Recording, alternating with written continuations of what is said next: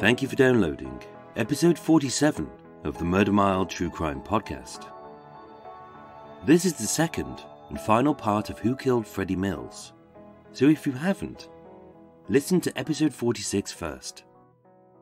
But before we begin, please take a moment to listen to this important message.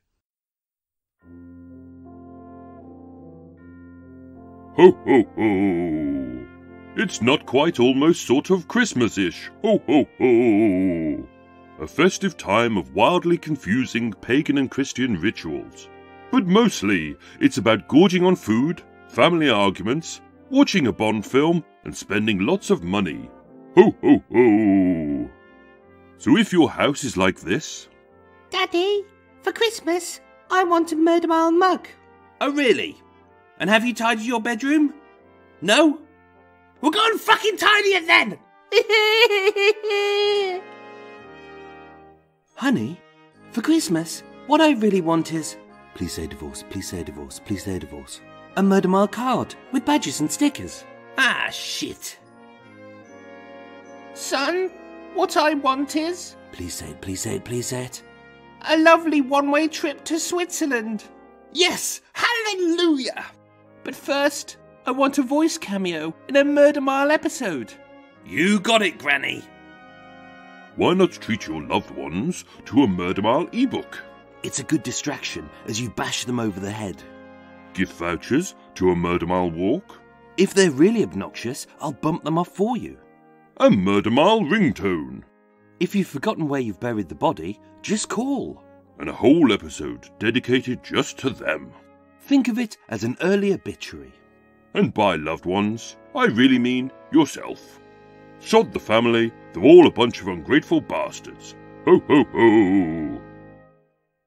Murder Mile in no way endorses the brutal death of family members, unless a murder is committed in or near Soho, that it's grisly, shocking, and amusing, and you give me exclusive rights to all the photos, interviews, and murder weapons so I can make an episode out of it. Thank you for listening and enjoy the episode.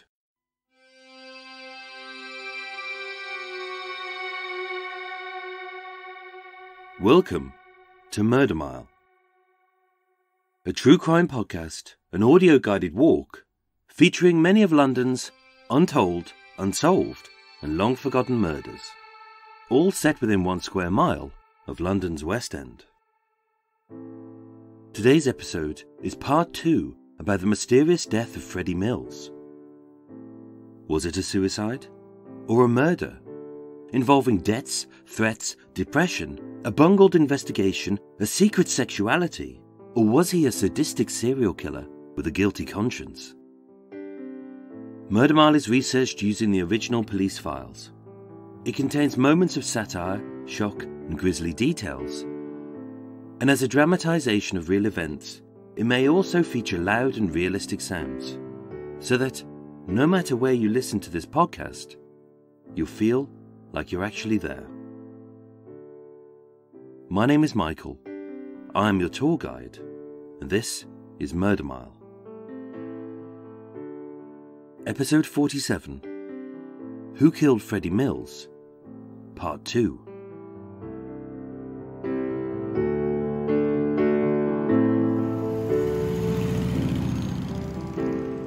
In the early hours of Sunday, the 25th of July 1965, in the darkest corner of Goslett Yard, an eerily silent dead end just off Charing Cross Road, Freddie Mills, the champion boxer, wholesome celebrity, and beloved family man, was found dead.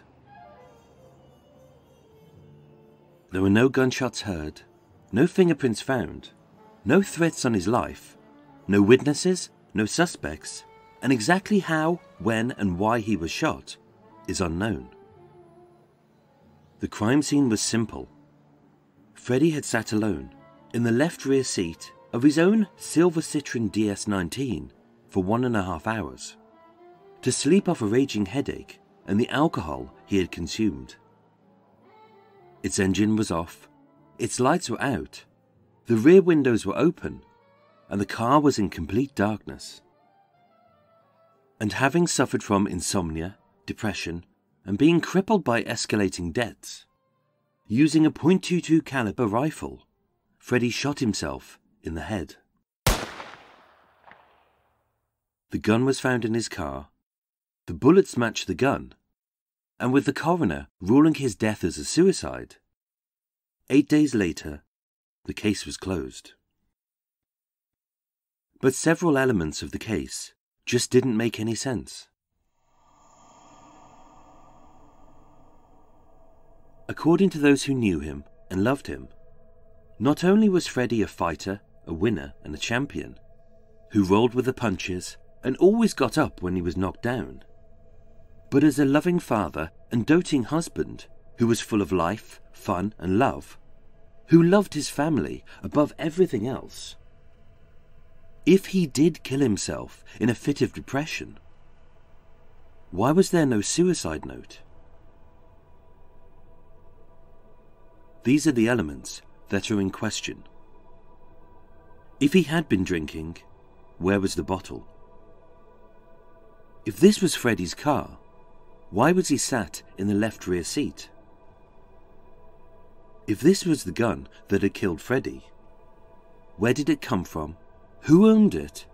Why was it found neatly propped against the seat in front? And why was he shot using a fairground rifle?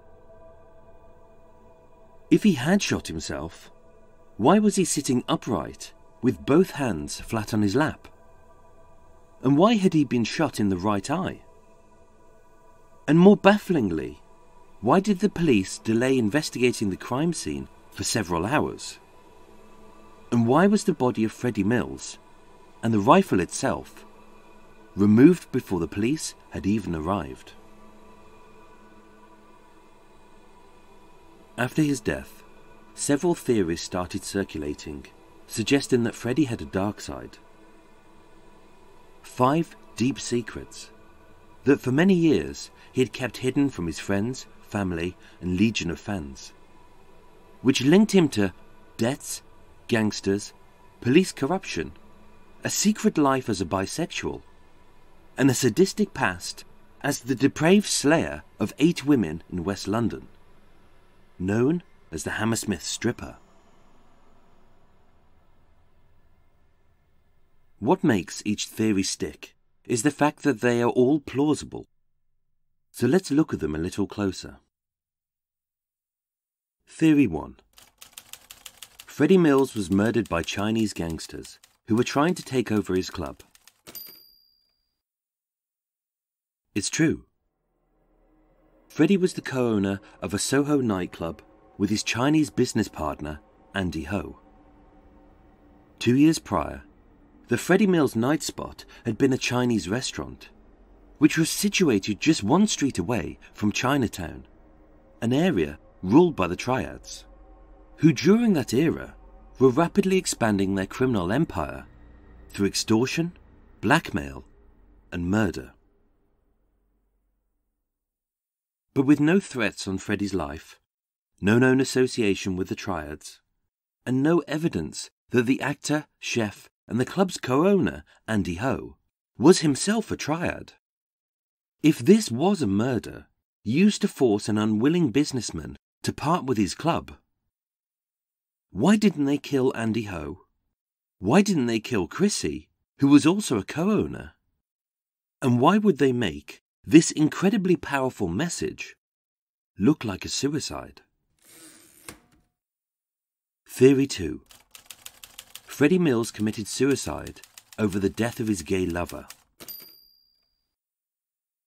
It's true. Freddie was distraught at the death of his close friend, Michael Holliday, a popular singer with chart hits in the 1950s and the 1960s. And being a fragile man with drug issues, a history of mental illness, and a secret sexuality. On the 29th of October 1963, having headlined at the Freddie Mills Night Spot, a cabaret situated in Soho, the homosexual capital of the West End, Michael Holliday tragically overdosed. Just two years before the mysterious death of Freddie. But were Freddie and Michael gay lovers? No. Freddie was a big hearted, happily married man who loved and cared for everyone, who feared for his friend's mental health and had tried and failed to prevent Michael's suicide. And although the press tried to paint Freddie as a secret homosexual, who they claimed had been arrested in a public lavatory and charged with indecency, a charge for which there is no evidence, Ronnie Kray, the openly bisexual East End gangster who knew Freddie and dated Michael Holliday, stated before he died Freddie's a real man's man. He wasn't that way inclined. Theory 3 Freddie Mills was either murdered by or his suicide was staged by the Kray twins. It's true. Freddie Mills knew the infamous East End gangsters, Ronnie and Reggie Kray, who had a history of violence, regularly frequented his club, both had access to guns, were in London at the time of his death, and in the following years, both Ronnie and Reggie Kray were convicted of murder. So did the Kray twins murder Freddie Mills? No. Of course they didn't. Not only was every club in 1960s Soho frequented by gangsters, and not only was Freddie not a threat to them, but as ex-boxers themselves, Ronnie and Reggie Kray were in awe of Freddie and considered it an honour to drink and chat with the former light heavyweight champion of the world, a man they called their friend. Two years after Freddie's death, when his wife Chrissy asked Detective Chief Superintendent Leonard Nipper Read, the man who made it his mission to bring down the Kray twins, to examine Freddie's case, even he had to reluctantly state that there was no evidence that the Kray twins were ever involved. And besides, the idea that Freddie's death was either a murder or a staged suicide simply doesn't make any sense. As why would Freddie pay someone to stage his suicide or murder? And even if they did, why would they shoot him in the eye using a fairground rifle and not leave a suicide note? And yet, if you still truly believe that Freddie was murdered, ask yourself this. Why would a hired assassin choose to commit a murder using fake bullets? Yes, fake bullets. Which weren't made of lead, they were made of clinker, a stony residue made from burnt coal, which is designed to fragment when it hits a wooden target, just like it would at a fun fair. Theory 4 The police deliberately bungled the investigation into the death of Freddie Mills. It's true. The police delayed a full examination of Goslett Yard for several hours, and the body of Freddie Mills and the rifle itself was removed from the crime scene before the police had even arrived. But the investigation wasn't bungled. When the ambulance drivers, Leslie Rowe and Thomas Spaulding, arrived at 1:39 a.m., the alley was so dark they had to use torches.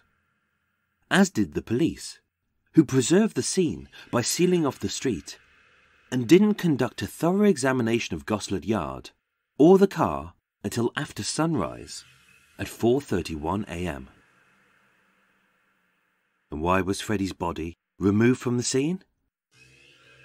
Simple. Because he wasn't dead. Having been shot some time prior to 11:45 p.m.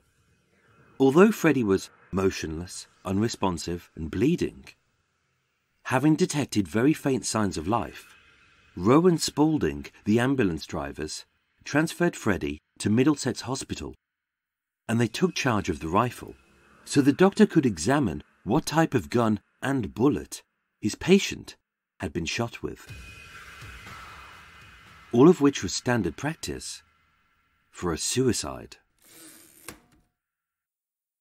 And Theory 5 Freddie Mills was an infamous serial killer known as the Hammersmith Stripper. It's true. Between 1959 and 1965, in West London, eight young prostitutes were strangled by a serial sexual sadist who dumped their naked bodies in or around the River Thames. And according to Chief Superintendent John du Rose, who headed up the investigation, his prime suspect was a respectable married man and an ex boxer in his 40s who had committed suicide in mid 1965.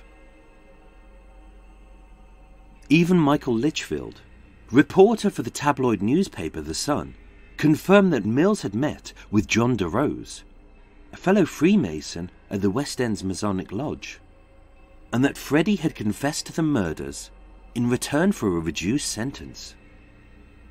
A devastating confession which du Rose secretly recorded. So was Freddie Mills, the world champion boxer, the beloved film star, and the devout family man, secretly the brutal slayer of eight prostitutes in the 1960s, who was known as the Hammersmith Stripper. No. Of course he wasn't. This theory, like all of those we've just discussed, is complete and utter dogshit. And here's why.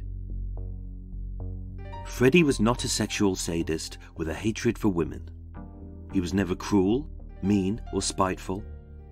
He was a good man with a big heart who, above everything else, loved his family. Freddie had no criminal record. Not one charge for assault, indecency, soliciting, harassment, peeping, prowling, or public lewdness. All of which you would expect from a serial sexual sadist. Of the 7,000 men who were interviewed by the police in connection with the Hammersmith stripper, whose cars were seen curb crawling in the area, a silver Citroen with the license plate DLR 610 does not appear in the police database, and Freddie Mills was never questioned. Freddie does not match the identikit of the police's primary suspect, who was a short, slim, elfin faced youth with a long straight nose, beady little eyes, and sticky out ears. And even if you exclude the fact that Chief Superintendent John du Rose confirmed that Freddie Mills was never a suspect at any point in any part of the investigation into the Hammersmith stripper. This taped conversation, which Michael Litchfield claims exists, has never been seen, has never been heard, and even in John du Rose's own autobiography, it was never once mentioned or referenced. So, how did this theory begin? It began with a simple misunderstanding. Chief Superintendent John du Rose stated that his prime suspect in the investigation was a respectable married man and an ex boxer in his 40s who had committed suicide in mid 1965.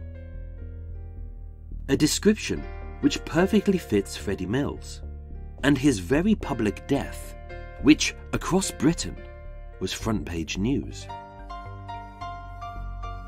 Only du Rose wasn't talking about Freddie at all. He was talking about Mungo Ireland.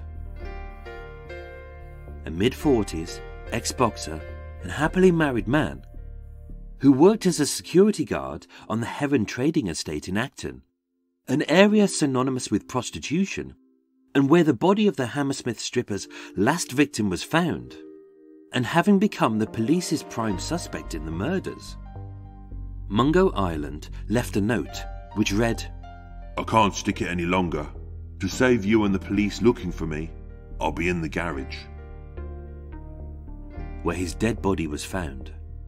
having gassed himself.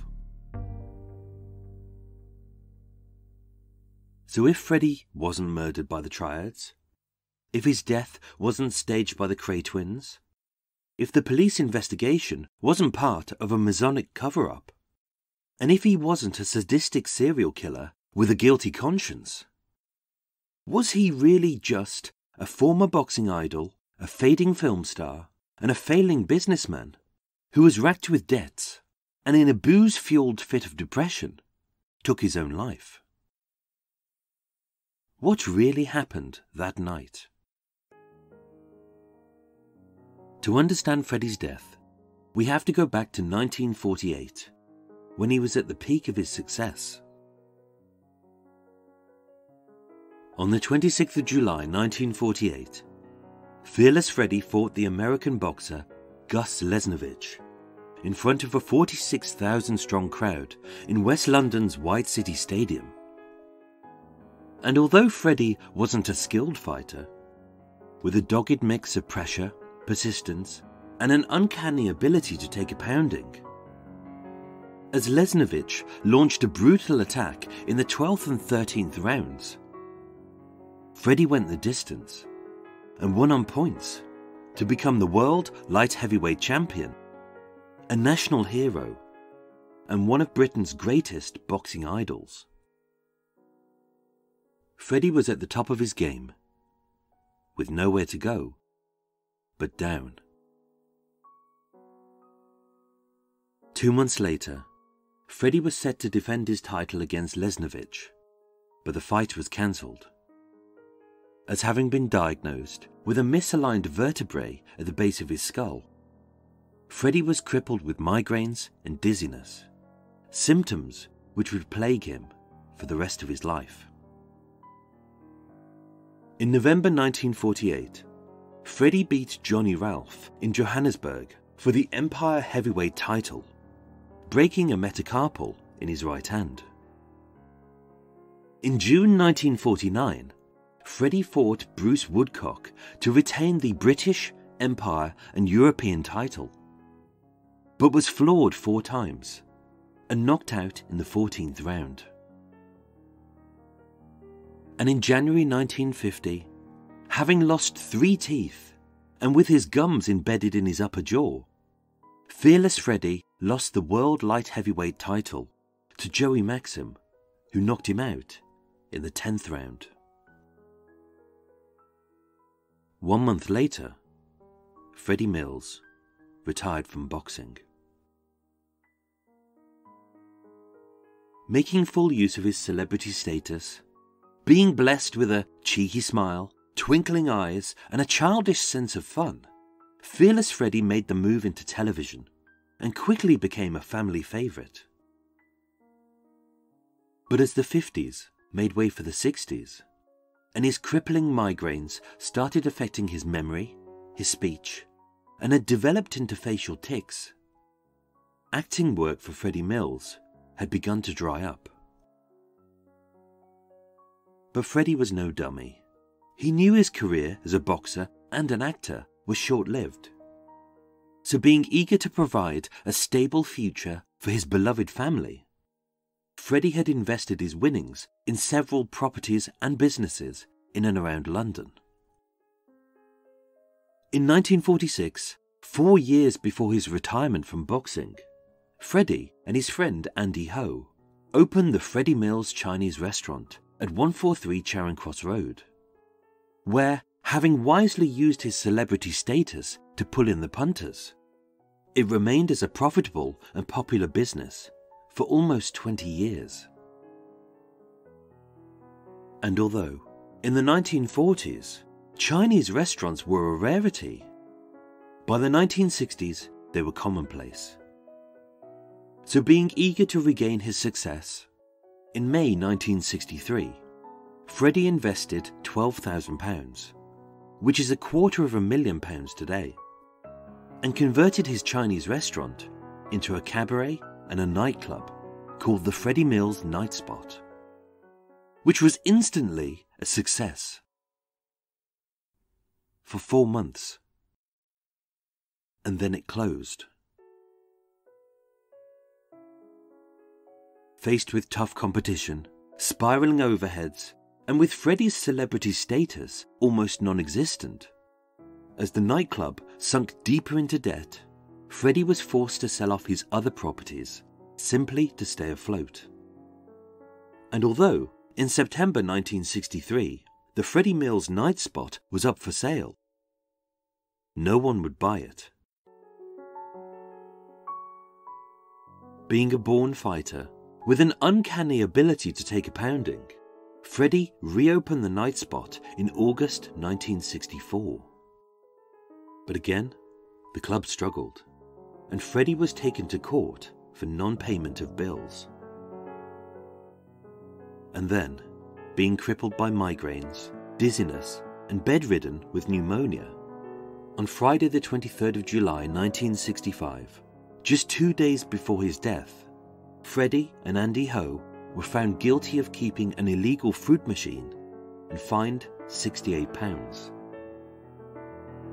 With his finances laid bare before the court, it was only then that Chrissy, his wife, learned how dire their situation was. That Freddie Mills, the world champion boxer, actor, businessman, devoted father, and loyal husband, was broke. With his cheeky smile and that infamous twinkle in his eye now gone, as he secretly struggled to cope with depression, having been trained as a boxer never to show any weakness, Freddie fought on. And although never once in Freddie's life had he ever given up, here he had reached rock bottom. On Tuesday, the 20th of July 1965, Freddie drove to the home of 58 year old Mary Gladys Ronaldson, an old friend from his fledgling days as a semi professional pugilist at Sam McKeowen's boxing booth, who was currently working at the nearby Battersea Fun Fair. Under the pretense that he had been hired to open a charity fete in Esher that weekend, and that he wanted to dress as a cowboy, he asked Mary for a gun. The gun she offered him was an FN self-loading .22 caliber Belgian repeater rifle. The type used to shoot targets at a fun fair. She had no issues loaning him the gun. She knew Freddie, she trusted him, and with the unloaded rifle having been removed from the shooting gallery as it was old, faulty, and prone to misfire, she knew it would be perfect as a prop and harmless as a lethal weapon. With no other option, unable to confide in his friends, too ashamed to tell his family, and knowing that most gangsters are gossips, Freddie accepted her offer. And after he had left, although the faulty rifle was unloaded, of the five bullets that her son had left on the mantelpiece, three were now missing. Exactly what happened that night, only Freddy knows. But the most logical theory is this.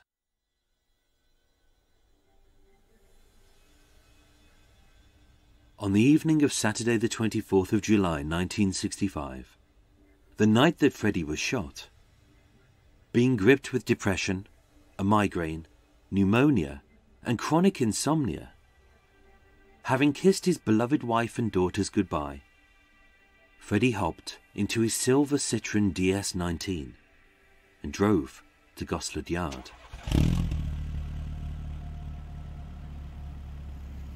Freddie was a champion, a fighter, and a winner, who had achieved greatness, and to many he was an idol, who once had it all.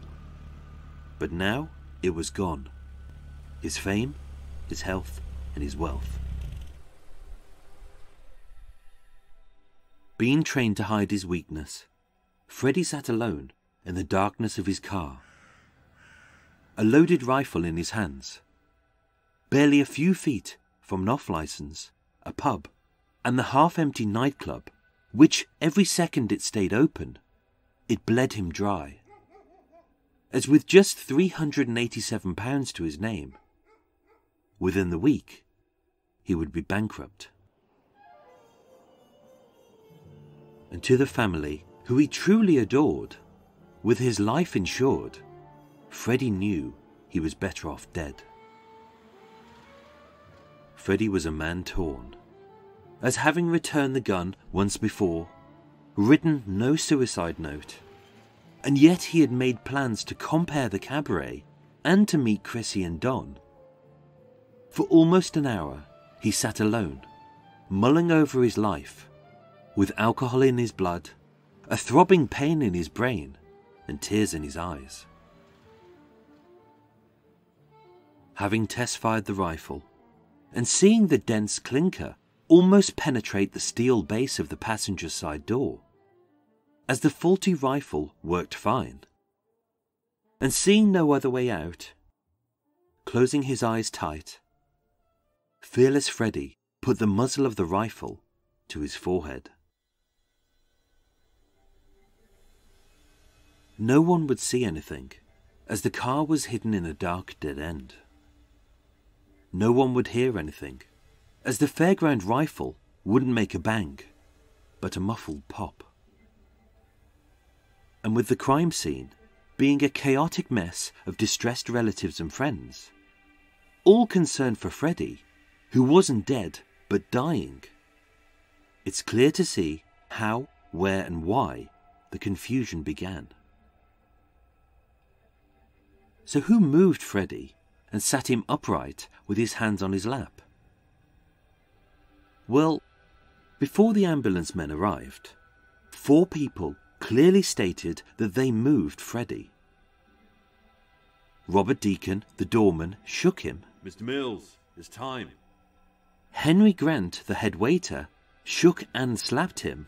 Freddy, wake up! Chrissy had hugged and cradled him, Freddy, Freddy. his blood staining her blouse, as did his stepson, Don. And for at least an hour and a half after he was shot, Freddy wasn't dead.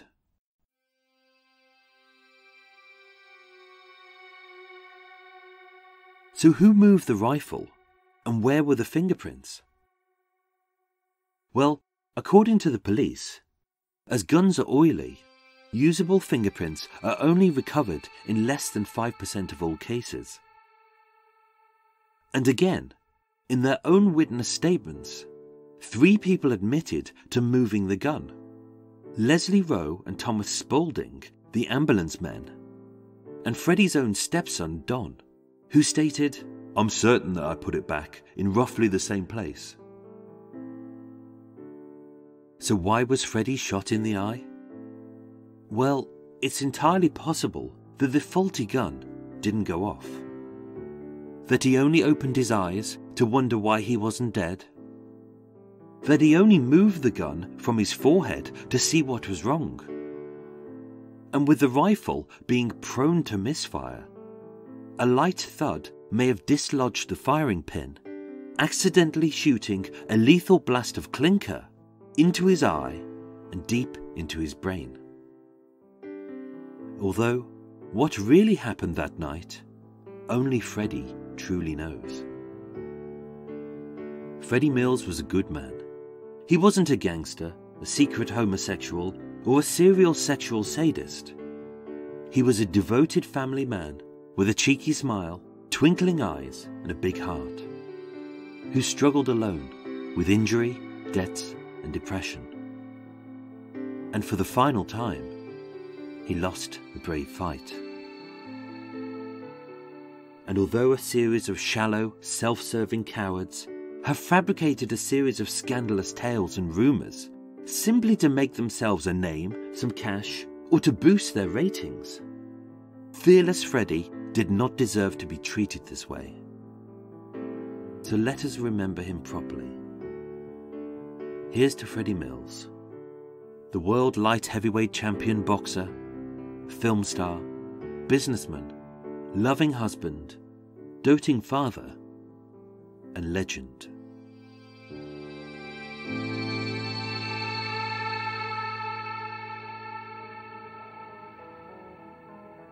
Ladies and gentlemen, thank you so much for listening to Murder Mile.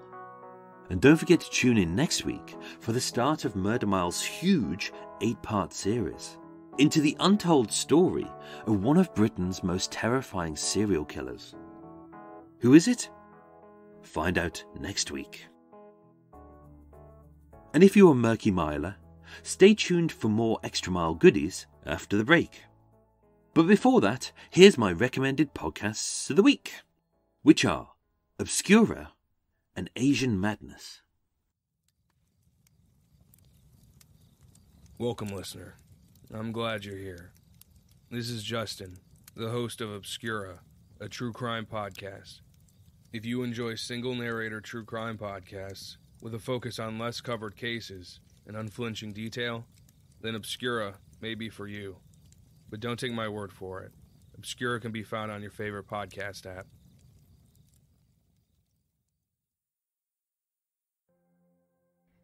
There's a good chance that you, yeah, you, are interested in true crime and all things creepy and weird. If I'm right, then there's also a good chance you might find my podcast, the Asian Madness Podcast, interesting. You can find me on iTunes, Stitcher, Google Play, and pretty much everywhere else. It's true crime, it's dark, it's morbid, and it's weird. Come explore the dark side of Asia with me, because let's face it, Asia is just as crazy as the rest of the world.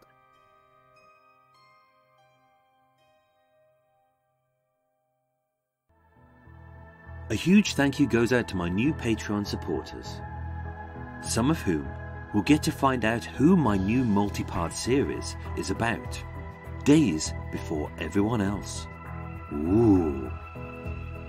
So thank you to MJ Massadini and Hannah Mirza. And of course, to Thomas Wiedemann, who donated online to save Murder Mile from poverty. So to each of you folks, thank you so much. You are truly amazing. Murder Mile was researched, written, and performed by myself, with the main musical themes written and performed by Erik Stein and Jon Boux of Cult with No Name. Thank you for listening, and sleep well.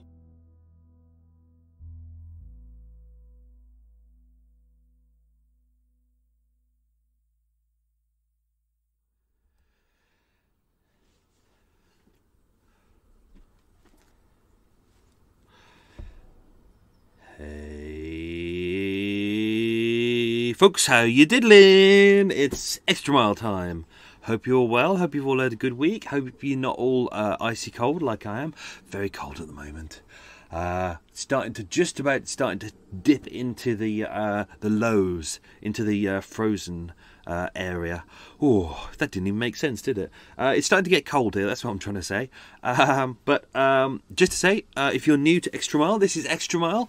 Uh, this is the extra part of the show that I put at the end. Uh, this is where we dig deep into the case we've just dived into. Uh, we've just heard about because this is part two. I can actually go through a lot more details on this one because obviously with part one I couldn't say a lot because I didn't want to spoil too much. Um, but this is Extra Mile, so it's all unscripted, all unedited. There's no music, there's no sound effects. This is just me waffling. Uh, as always, I'm sitting here, uh, I'm waiting for my tea to brew. You can hear it in the background buzzing away. Not buzzing away, kettles don't buzz, do That's stupid. Um, I don't have a cake today. I know. Uh, normally, I, I enjoy a cake while we're doing Extra Mile. That's my little treat to myself, but I haven't got one. But I will be getting one soon. I'm moored up. Um, for those who don't know, I live on a, canal boat and I move every week to two weeks. And I'm moored up in a very nice part of northeast London ish, in a very, very uh, Orthodox Jewish area. It's uh, it's a place I've moored up before. It's really nice. It's really I like mooring up there. You feel very safe as well because uh, uh, uh, the Orthodox Jews have their own police force, their own kind of police, which is fantastic, and they do a great job as well.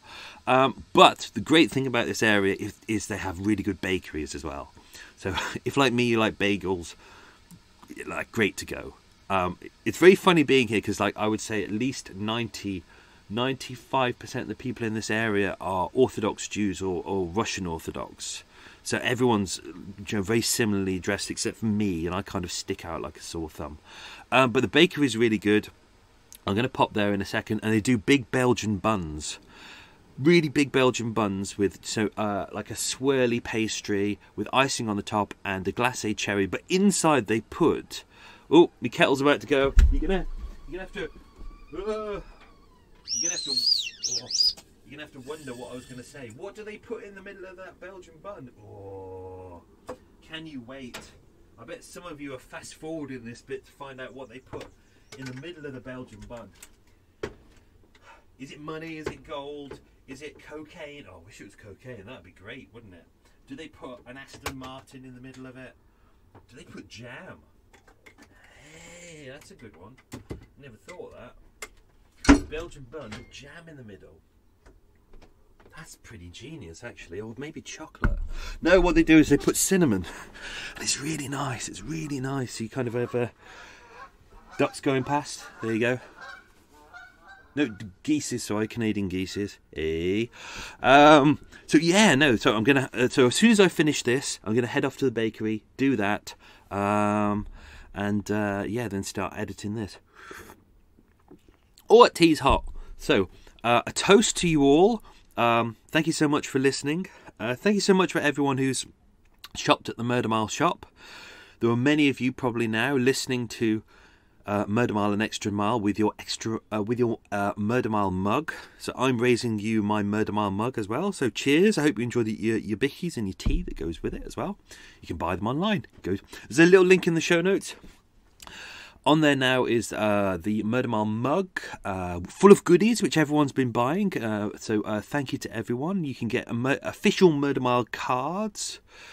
Um, if it's for someone's birthday or whatever, there's a little note section in there, as as people have just done recently. So there's a little note section in there. If it's for a, a, a loved one, just leave me a little note and I will write the card to them, uh, or or you can leave the note blank. Ebooks are available on there. Ebooks one and two. Uh, if you go to the uh, Murder Mile Facebook discussion group, uh, I each week I try and give away a couple of ebooks to everyone. So there's there's, there's goodies online, and there's some other interesting gifts as well. Uh, but before we dive into Extra Mile, I just wanted to say a couple of thank yous. Uh, so I mentioned this last week, but uh, I didn't actually get the parcel by the time I started recording because these episodes are recorded like two weeks in advance. So uh, another big thank you to Lisa Lebo, who very kindly sent me loads and loads of gifts. And I'm actually sitting here right now recording these episodes wearing some really, really lovely posh fleece pajamas, uh, big woolly hat, gloves, thermal socks. Uh, I've eaten all the chocolates. Um, I know I'm a big piggy, and loads of really nice goodies. So thank you so much to Lisa. Uh, thank you to uh, Lorraine Ledwell uh, for coming on, on my tour very recently with her sister, bringing chockies, and we we had a pint afterwards, which was really lovely. So thank you, Lorraine. Uh, Lorraine and Carol. See, I'm very good at my memory is quite good. And on that tour, I also get got to meet birthday boy Jimmy Ardrey. So um, lovely to meet you, Jimmy. Uh, two badges, Jimmy. Um, and uh, thanks for uh, telling me about chucking. they're not ducks, they're chicken. That's probably the worst accent ever, but I tried my best. Uh, uh, also, a thank you to Kim Nixon. Um, Kim has sent me a message saying that she's sending me a box. It hasn't arrived yet by the time I'm recording this, because I record way in it ahead, but she sent me a box of gifts. So thank you to Kim. I'll probably put a thank you in the next episode as well. Uh, and also thank you just to everyone who's shopped at Murder Mile Shop. Really, mu- very much appreciated. There's loads of gifts in there for Christmas. Um, I've also put in there.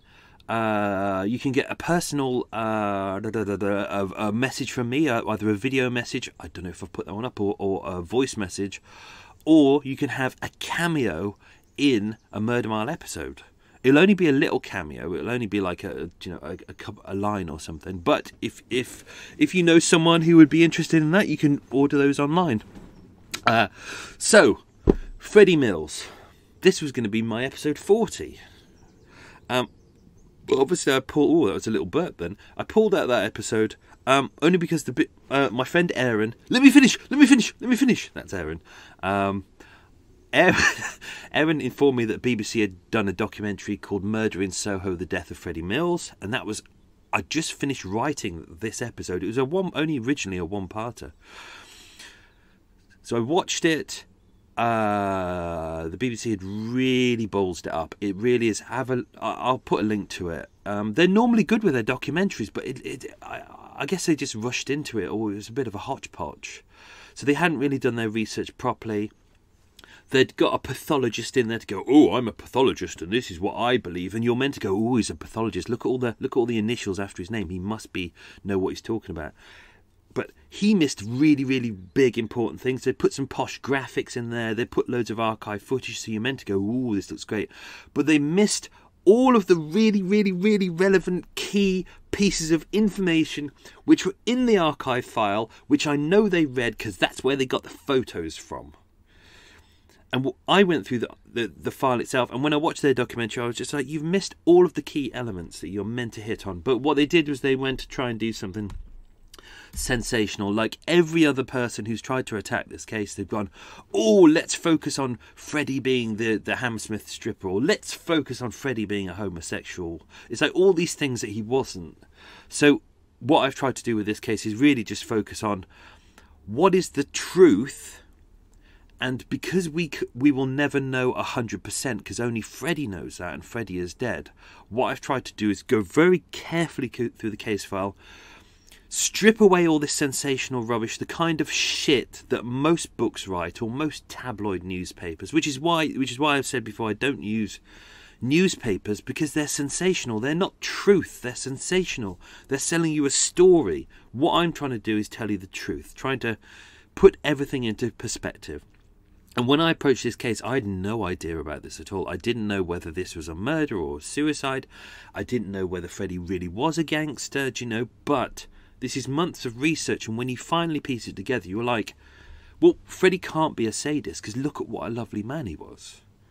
Do you know, unless he was amazingly clever and he could really, really hide every single detail of his, of who he was, but it's unlikely. Do you know, a really lovely chap, really decent family man, really strived really hard, wasn't a great businessman, you know, but he he was always trying to push that a little bit harder, and he always, as I, I said in here, you know, every time he got knocked down, he'd get back up again. That was Freddie Mills, and I just constantly feel very frustrated and annoyed by these people who go for the sensationalist angle and forget that this is a real man, this is a real person.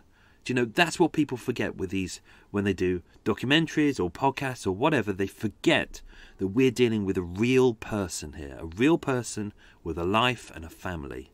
And that doesn't mean you have to sanitize it, that just means you've just got to tell the truth, which is what I've tried to do here. So, uh, we're going to start going through some details. I'll put in a little disclaimer here for pedants who are out there. I'm a pedant, so I'm happy with this. Uh, I did say in that earlier on that Freddie Mills uh, didn't have a criminal record. He had a tiny, tiny criminal record. I was going to put it in part one, but it, it, it kind of became irrelevant. I didn't want to throw you off. So, oh, little train going past.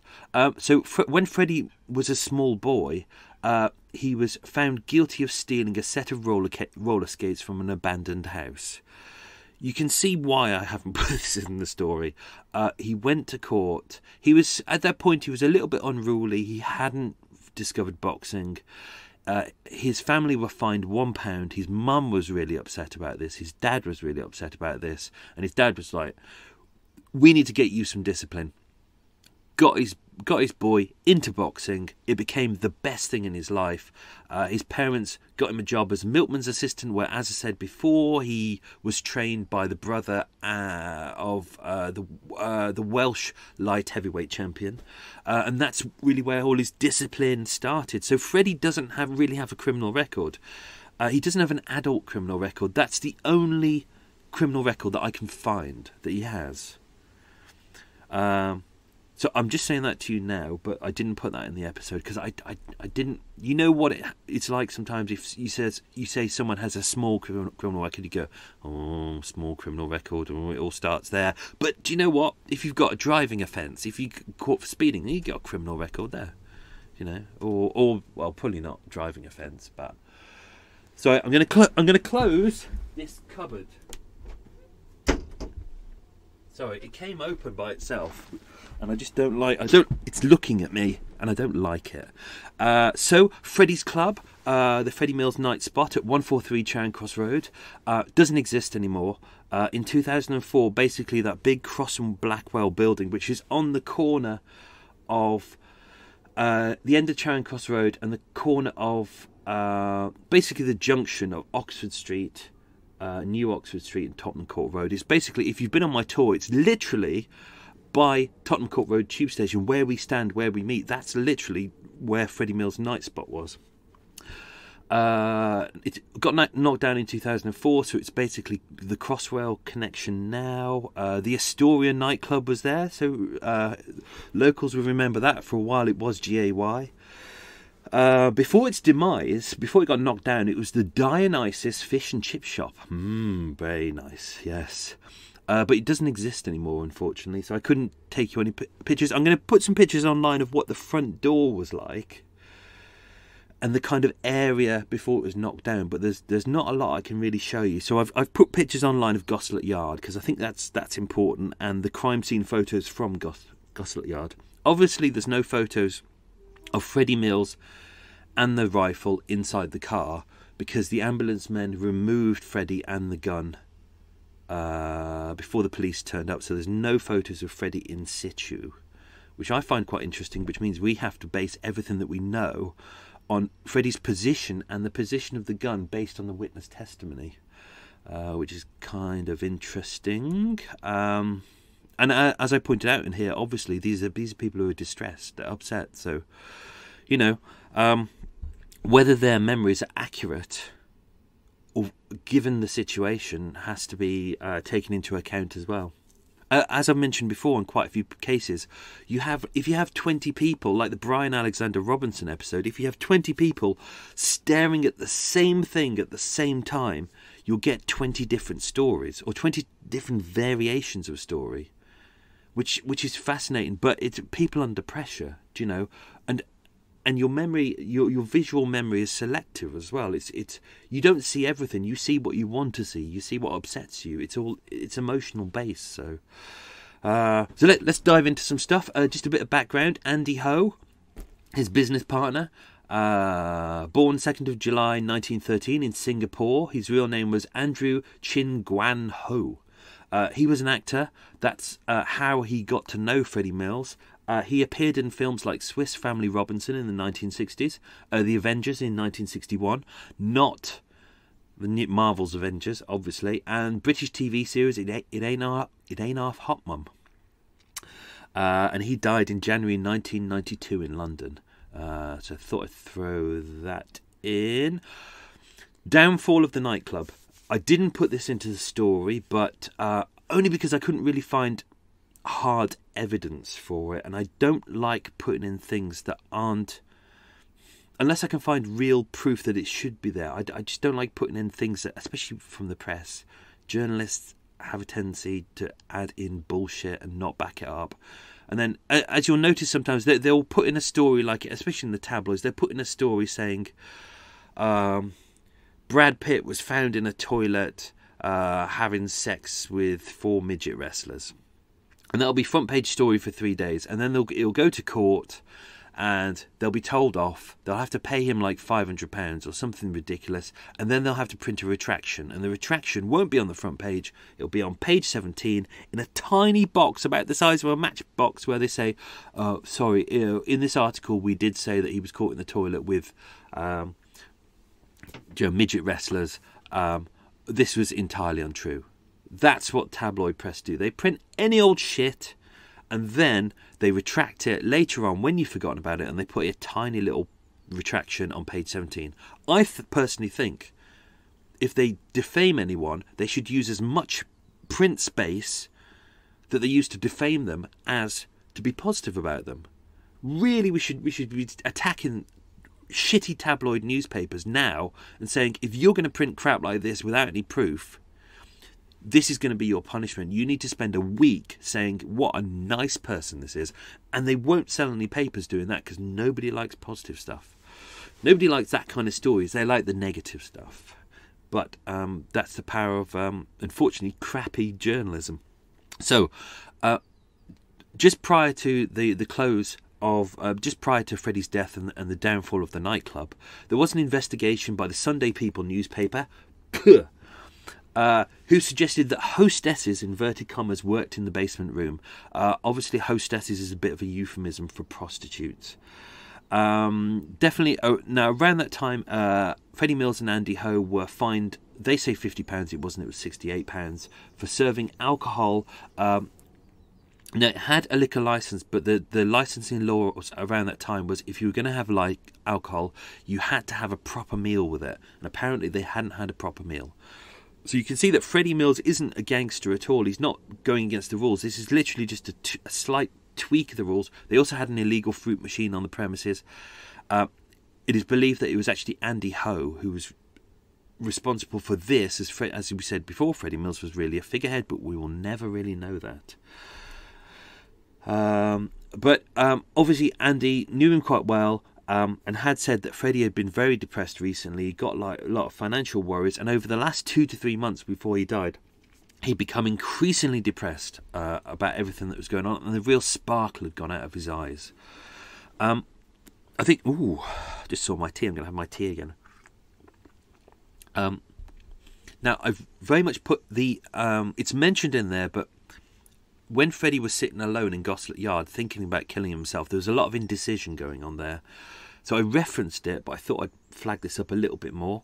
Um, now I mentioned in there that uh, he went to pick up the gun from Mary, who worked at the fairground. This is all all proven. Uh, we've had Mary's statement. You know that's definitely where the gun came from.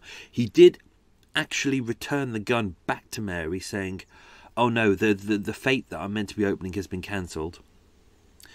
And then the next day he came back and went, oh no, no, it's back on again. So you can see a real indecision that on the Tuesday he was definitely of a mind to go and kill himself. When Thursday he picked up the gun, Friday he returned it, then he got it back again. So um, there's a lot going on, and this was around the time. Don't forget, Freddie was very ill at the time. He got pneumonia. He hadn't slept in a long time, so he's really struggling with that at the moment. But he definitely he said to her, as he left, he said, I'll return it on Sunday at 3, p- 3, 3 p.m. without fail. Obviously, he didn't because he knew he was going to kill himself. Well, he didn't really know he was going to kill himself, but he, uh, that night he was flip flacking between whether to kill himself or whether to not. Um, with the autopsy, it was performed by uh, Professor Keith Simpson, uh, who was the uh, after Sir Bernard Spilsbury. He was the uh, London. He was the chief pathologist. Uh, there was no exit wound um, in Freddie's head. The bullet had entirely disintegrated and remained inside his head. Um, Post mortem was carried out in Westminster Mortuary, and particles of metal fragments were obtained from the skull and brain. Now, um, Pro- Professor Simpson, Simpson, I can't say that. Keith, we'll call him Keith. Uh, Keith said that the uh, the muzzle of the rifle would have either been in contact or near with the right eye. Uh, there was a three three to four millimeter entry hole. It directed through the head. The f- trajectory went right through the, the bony sphenoid uh, of the of the base of the skull, uh, through the brain stem and into into the cerebellum, and there was no exit wound. Exit wound. And uh, those pieces remained shattered inside his skull. Uh, and according to him, damage to the skull was irrevocable.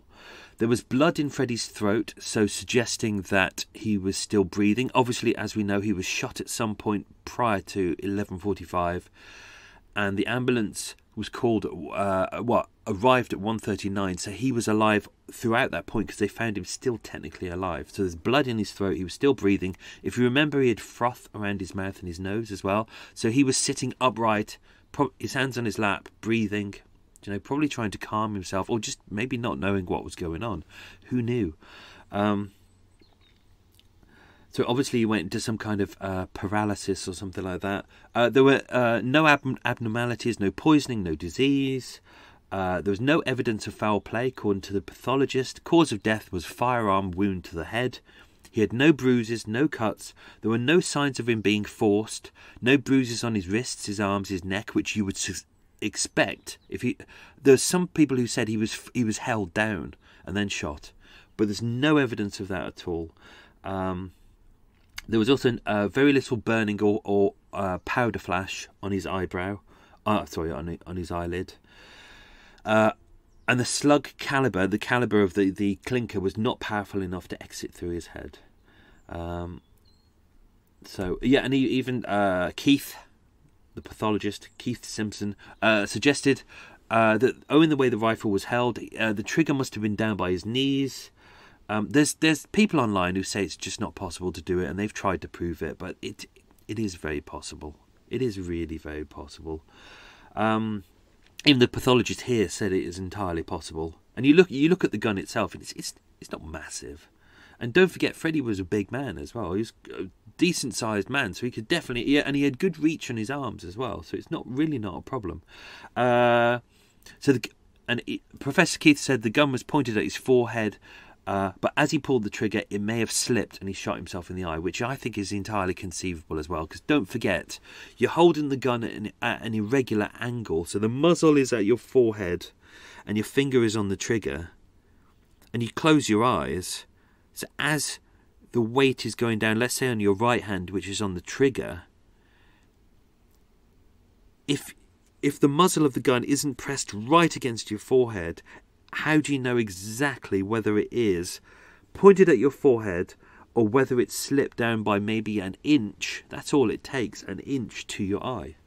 So, even the pathologist said it's entirely conceivable that he did try and shoot himself through the head.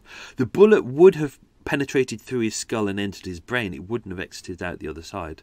Um, they proved it and they said it, it, it would go through bone, uh, but it wouldn't have gone a long way through.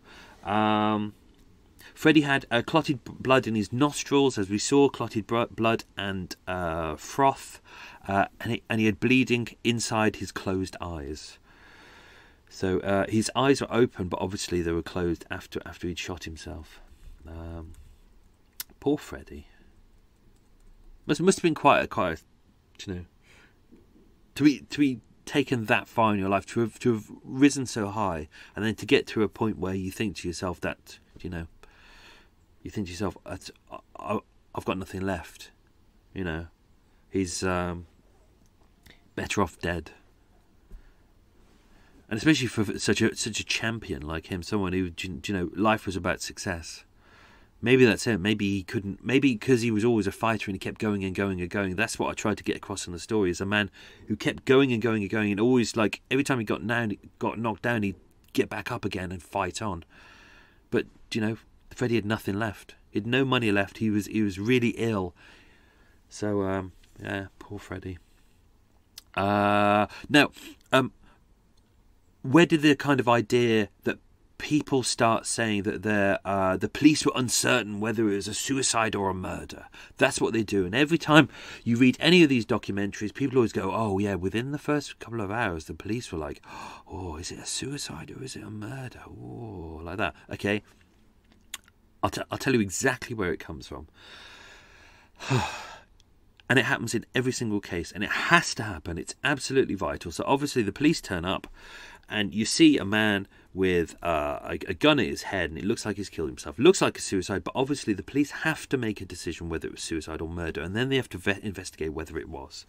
This was clear cut to the police, but in order to progress any further, uh, obviously we know that the uh, Freddie Citroen, his car was preserved for fingerprints, uh, and then sealed off the yard at 2:41 a.m. Uh, that's when it was officially declared as sealed. Obviously, the police were standing pri- there prior to that to that point, not letting people down. But that's when it was officially declared as sealed. Uh, fingerprints were taken at the scene at 3:52 a.m. Still a little bit dark. wasn't dawn up. Obviously, they did a, a, a more thorough fingerprint examination after that. But at 4 a.m., uh, the police had to start inquiring whether this was a suicide or a murder. Obviously, they were new to the scene because the pathologist, Keith, Keith, Keith Simpson, Keith, Keith Simpson, God, people, give me a name I can pronounce. Keith, uh, he needed to know which way it went, whether it was a murder or suicide, in order for him to progress. Because obviously, there are. Uh, ways of examining the body that are different. So if it's a suicide or a murder, obviously there are different things that he needs to look at. But at that point, the police said it's highly likely that it's a suicide. so obviously that's why Keith looks into things like like um, um, he looks at all the things that would happen in the suicide, but at the same time, he checks Freddie's body for kind of bruises around his wrists, or do you know, do you know duct tape, things like that, handcuffs, and uh, and so he went through all of that and said, right, okay, it's definitely not a murder, it's a suicide. I, I can tell just by looking at the body, and he did, but that's what a lot of kind of bad journalists do is they look at this case and they go oh the police already within an hour they were saying oh but is it a murder? Is it a murder? It's like no the police knew it was a suicide but they ha- but they have to do everything methodically they have to do everything right. They have to make sure that if they say it's a suicide that it is actually a suicide and not a murder so whew, another cup of tea right now i was going to put this in the story but uh, I wanted to. Uh, I didn't want to uh, bore the story by going into these theories. Obviously, as you know, I think we did this with the uh, Ginger Ray episode. That there was a lot of theories going out there, and we had that story about that lady. I think her name was Catherine, who said, "I think." Ginger Ray was killed by Freddie Piera. He was taken to uh, uh, Ginger Ray by a Chinaman called J.T. Foon, and you should arrest Johnny Piera because he is a black man. Do you know? You, you, probably remember that from episode eight or nine. Um, we've got loads of these here, so I'm going to go through them very quickly. Uh, so, 29th of April 1940, Mrs. Irene N. Cox of of Brighton in Sussex, who claims to be a spiritual healer and medium. You can switch off now if you want to. sent a letter to Sir John Waldron, who was the Chief Commissioner of Police. I am not going to read the whole letter, but she says, I am a spiritual he- healer and medium. And a few days ago, I started to think about Freddie Mills. And suddenly, and suddenly felt he had been murdered. Not having commi- committed suicide, as with, as with the decision of the coroner. Um, uh, da, da, da, um, I want you to ask the pathologist had he considered if Freddie Mills had, had been the victim of an Indian or other nationality individual having killed him by a karate chop, i.e., being struck very sharply and cleverly on the back of the neck, then shooting him to make it look like a suicide. She's amazing, even though he was, you know, there was no evidence of a of a karate chop to the back of the neck. But obviously, when you read all of these letters that are in there, the the Freddie's file is full of it. The police, unfortunately, have to take these kind of nut jobs seriously, and they get a lot of them. And then people go, "Why did the police not investigate this?" And the problem is, you, if the police get a hundred people approach them with different theories, some of them sensible, some of them wacky. They have to take all of them seriously because the problem is what happens if down the line uh, Theory 100, which is the wackiest, turns out to have an element of truth in it. So the police have to sit there and they have to take these very carefully. And just loads of these nut jobs out there. There's another one. Okay, so well, 15th of December 1970 you know, you notice in a pattern that they all seem to happen around the same time. That's because uh, newspaper articles came out going, "Who who murdered Freddie Mills?" Um, so Thomas Anthony Deans, who was a 32-year-old labourer uh, of Black Mountain Grove in Belfast, uh, made a statement to the Royal Ulster Constabulary, uh, so he's not even in the right country to start off with, uh, stating that he was he was present when a man named Jumbo shot Freddie Mills. Dean served time for possession of a firearm and ammunition, and whilst attending court, he was heard to shout that he had. Uh, let's ignore that bit. Uh, where was the important bit? Yeah, no. So, uh, um, he claims that he knows that he knows the Kray twins, which he didn't. Claimed to be he was a bit habitual criminal. He said that Ronnie Kray had killed him, and that um, and that he had heard that from Ronnie Kray when he was in Parkhurst, which is all bollocks. Another one. 5th of January 1941. Maria, Maria Celine Mullally. What kind of a name is that? Mullally. Mullally. um, uh, what's this one? Uh, da, da, da, She's another one who claims that it was the Kray twins who helped murdered uh, murdered Freddie Mills uh, owing to a homosexual relationship which obviously we all know we've already gone through that Ronnie Kray himself said that Freddie wasn't a homosexual or bisexual, and that he wasn't having a relationship with um, uh, Michael Holliday. Uh, where's this one? There's another one. There's a huge one here that I found in there. A huge letter. It's actually at the top of the file by a guy called Alfred Peter Neal, who was a former journalist, inverted commas, uh, who lived in Balham, and a lot of these stories seem to come from him. And the, so he claimed that he was close friends with Freddie Mills. There's no evidence for that at all. And he was a close friend with Michael Holliday, the singer, who was meant to be the, the homosexual lover of, of Freddie Mills. Um, he knew that he said he knew that Freddie was a bisexual too. That it was it was talk around town, all that. His letters are really really vague, totally vague, and he states that Freddie Mills had two bullet holes in him, and he insisted that the body is exhumed to prove it. There was only one bullet hole and no exit wound. Um, and that he claims that a friend of his said that the chief inspector had said that uh, Freddie Mills was definitely the murderer of those prostitutes in West London, which is all complete bullshit. Where's this important bit? I should have marked it up. Um, when he when he uh, the he made all these claims. He went to the police, and when the police sat him down and said, "Right, where's your evidence?" He went, "Oh, oh, I, I don't have any evidence, but I'm, I'm going to the Sunday Express and the Mirror, and he's planning to write a book about it." So, uh, if you see a book out there by Alfred Peter Neal, who claims to be a former journalist, bollocks to him, full of shit. But there's loads of them. I've got loads of them literally sitting here. There's another guy who, who, was in Johannesburg and claimed that he was with a guy who claimed that he killed Freddie Mills. Is this his fi- where's his final one? Oh yeah, here's my favourite one. Okay, this is the one I was leading up to. So, 20th of October 1980, Amy Verdun Fellows, uh, 62 year old lady living in Birmingham. She entered New Scotland Yard claiming that Freddie Mills had been murdered. She claimed that she was present at the time of the shooting. She was in a vehicle with a friend called Danny, no surname given, in a side street off Tottenham Court Road, wrong street, but never mind. Um, at nine o'clock in the evening, wrong time in the evening, sometime in October 1958, wrong month and year, when she saw a male shooting Freddie Mills in the temple, wrong part of the body, with a revolver, wrong weapon, while sitting in the front seat, wrong seat, of Freddie's own vehicle. The mysterious shooter then gave Danny the silencer. Uh, uh, she didn't know uh, what went on, but learned of the death of Freddie Mills that evening, which weirdly was seven years before he even died.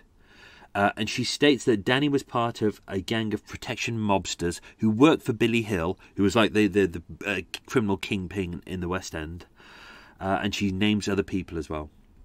Luckily, in the police statement, they say uh, police state that she was irrational and rambling. Uh, interestingly, all of these people went to the press, and the press, because they have nothing better to write about, um, they take these people's stories and they go, "Oh, we've heard," blah, blah, blah, and it's all bollocks. This is what annoys me about newspapers is it's not the truth. This is why I keep saying to people, if you're going to write a story, a true crime story, don't use newspapers. It's bollocks. Use newspapers if you're going to attack it and say, this is what the press said, but at least have the decency to say, this is what the press said, but don't trust that this is true. And I'm, I'm not a conspiracy theorist. I'm not saying that the press is all entirely lies. They do a great job, but the problem is, you get some journalists out there, same with everyone else, same with other authors or TV makers or whatever. You get some people out there who are just not very good at their job. Same with every industry. And the problem is, you, uh, how do you know who the good people are and the bad people are? There are some great journalists out there, and, and when I see their name, I go, oh, "Thank God for that." Like, so I, I do use newspapers sometimes, but I carefully check which newspaper it is and which writer it is because if I can get the right writer with the right newspaper, I know okay, they I know that they've done their research well. There was a writer for the normally the, Aber- the Aberdeen Argus. Normally, they have normally their details are normally very good. I've kind of go through their newspapers and go, oh, okay. But they, they had one journalist a while ago who was so shit. Really, he he said. Dennis Nilsen, obviously you know I know a lot about Dennis Nilsen, and he opened with a paragraph was uh, Dennis Nilsen sat on the shoreline of Fraserburgh where he grew up, ripping the wings off seagulls. Okay? never happened. I've even sent them a letter saying, okay, I need you to show me where this proof is, because I think you're talking complete shit. Because if you look at Dennis Nilsen's history, man loved animals. Have a listen to my episodes uh, 10, 11, and 12, I think. Um, Dennis loved animals. He absolutely adored animals. There's no way he would rip wings off a seagull. And if so, how did they get that piece of information? Oh, I'm on a rant. Sorry about that. Right, okie dokie. Um, one thing I didn't put into the story, which I, which is important, but I couldn't find an in, a, a, good way to put in because it's kind of it's it's future project, projection, uh, but it's about depression and boxers.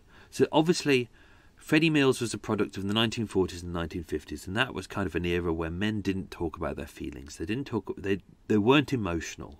Even a lovely guy like Freddie Mills, lovely guy, went out of his way to help his friends with mental illnesses, was really lovely. Have a look at pictures. I'll put I'll post some pictures online. Freddie Mills, you just you just instantly fall in love with him because he's a lovely man.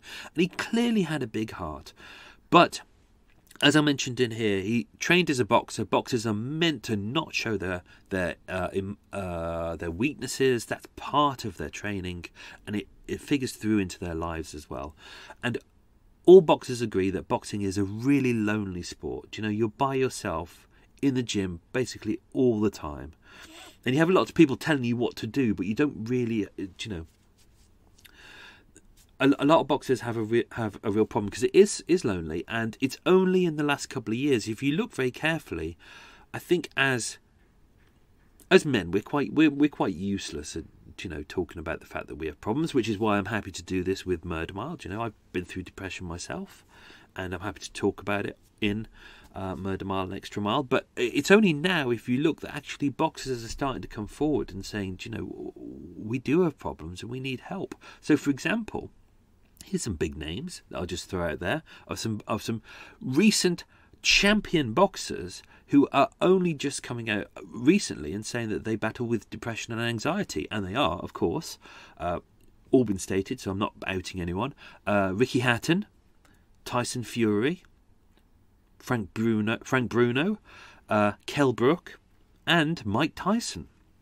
So the, these are all fantastic boxers, world champions who all all struggled with uh, depression over the years. So I didn't put that into the story, but it's worth really flagging it up. That don't forget, Freddie was of a different generation, and he was and and like if you look at his story as well, like he had fin- massive financial troubles, but he didn't tell his wife about it. His wife only learnt about it a couple of days before when it was opened up at court. So you can tell that he really loved her, but he hid a lot from her. Do you know, he hid a lot about his feelings, about his finances. So. Um, so yeah, so I, hope you enjoyed that.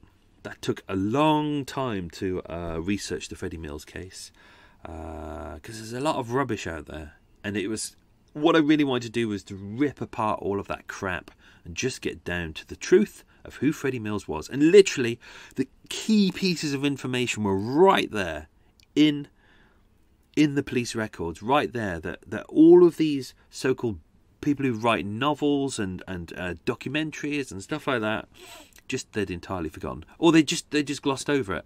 And that's the, that's what i say every week is that it's these small details that you have to focus on not going to wikipedia and going what does wikipedia say? Or picking up someone's crappy book. Because if you read someone's book about a case you're going to get their perspective. This is why i go back to the original source. Because the police files the court files it's it's not perspective at all. It's literally, it's just series of facts. And even though a series of facts will contain stuff like other people's theories in there, or like the, the crappy letters that we've just heard about from the from the mad people who say that who say that Freddie was shot seven years before he was killed, which is baffling.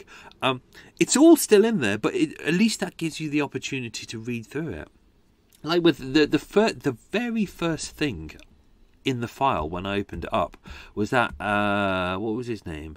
Uh, Alfred Peter Neal, the former journalist, and it's it's loads of letters by him, and it's just it's I read afterwards, I started reading up about Alfred Peter Neal, and there was a lot of other journalists who said, yeah, yeah, he's a respected journalist, and he believes this, and he believes that, blah, blah, blah, blah. And when you read their documents, you go, oh, God, yeah, it could be true. But when I started reading uh, Alfred Peter Neal's original letters that he sent to the police about the fact that Freddie Mills was the Hammersmith stripper and that he was a homosexual and that he was involved. I mean, he, he made all of these claims, every single claim that I've stated in here. He made all of them, and that's what a lot of these crappy journalists out there, the tabloid hacks, are using as the basis of their story. But when you read Alfred Peter Neal's original documents, the original letters he sent to the police, you read them and you go, this man is insane. This man is deranged. It's like not clear sentences. He's all over the shop. And you read it and you just go, holy crap. This is where people get their facts from. So, so in, in newspapers, when they go, a source, a source close to Freddie Mills said, Alfred Peter Neal could be the source. There's also another uh, um, uh, book out there. I've mentioned him in the, the Michael Litchfield book, where he claims that Freddie Mills is the uh, the Hammersmith stripper. Even though I disagreed with the uh, the BBC documentary that's out there, I'll put a link to it. It's called Murder in Soho: The Death of Freddie Mills. They do interview uh, Michael Litchfield about his book, inverted commas. Um, and the one thing I think they did get right was they did sit him down and say, okay, so how, how much of this is true? And they kind of hammered it through him, and he went, oh, oh I reckon it's about 80% right. So 80% piss off. 80%, 8% right at best. But uh, he's the one who said he has this confession where Freddie Mills says um, uh, that he was the Hammersmith stripper. Yeah? Where's that confession? Bring it out. Let us all hear it and then we can walk away. Or stop pissing off the family don't forget, these are grieving relatives who are sitting here, and it's their dad that we're talking about. Their dad and their and their husband. How would he feel if we turned round to his wife, or anyone and said, "Do you know? Do you know your your husband? Yeah, I think he's I think he's probably a serial sexual sadist. I caught. We'll, we'll just invent stories and we'll say I caught him masturbating in front of a school. See how he likes that. We'll say, "Oh yeah, I've got a confession which says he definitely did that. That's what I hate is people who do this just to make a name for themselves. If you're going to tell a story, tell it true. Be honest about it. Stop creating lies. Oh, so infuriating. Rest. I'm going to go and have my cake now. I think I've earned one. Um, so that was the Freddie Mills episode. Hope you enjoyed that. Sorry, there's a lot of facts at the end of that. Um, I am now going to start writing part one of the big multi-parter. Mm. I've been researching this for a long time, uh, and it's. I'm not going to tell you who it is. Oh, I'm going to try not to tell you who it is. It's it's uh, a relatively famous one, um, but because I sat down and went through the original files so I'm not using anyone else's books because everyone else's books, as, as I've said before, you know, it's full of bias, and also they they don't look at the angles that I want. Do you know, they they they they pick one side of it, but they don't look at the little details that I really love. Do you know, like I've said before, where do you know you, you learn about a person's life by learning by picking up those tiny little details, and it's the tiny details that I love that builds a big picture about a person's life.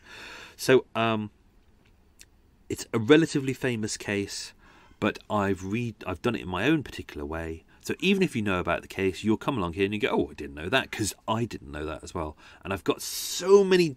Oh God, it literally was. It was three or four thousand pages of documents, and I had to read them like two or three times to get to. Because sometimes something would be re- referenced, and I'd have to go back to the. I go, oh, oh, where was it in the old document? I think it was in file forty-two, and I go, oh my God, where is it? Uh, but it's very exciting. I found a different angle on a case that I think we all thought that we knew, but really we didn't. So, um, yeah, that's going to be quite exciting. So, um, that's Extra Mile for this week. Hope you enjoyed it. Uh, we'll be back uh, next week with. No, I'm not going to tell you. So, join us next week to find out who the big multi-parter is. Until then, lots of love. Speak to you soon. Bye bye.